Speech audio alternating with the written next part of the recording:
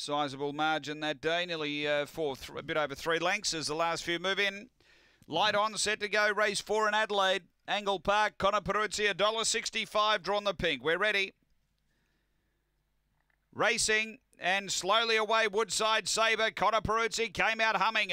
Going to cross him and lead and get away. Hayride Rowan two and a half lengths away and then Cuddles Lee. Uh, next is Woodside Sabre, then Mr. Dagwood and Velocity Aurora. They race to the bend and Connor Peruzzi is right away from them here. Woodside Sabre's rocketing into second, but Connor Peruzzi beats Woodside Sabre. Third Cuddles Lee, fourth Hayride Rowan, then Velocity Aurora, and back at the tail is Mr. Dagwood. The time here is around 22.10.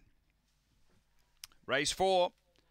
Uh, number eight, Connor Peruzzi, getting the prize here, 22.15 the run. And uh, he was able to explode out of boxes, got over, found the lead, and has been too good. Numbers are 8, 4, 1, and 2. Number 8, the winner.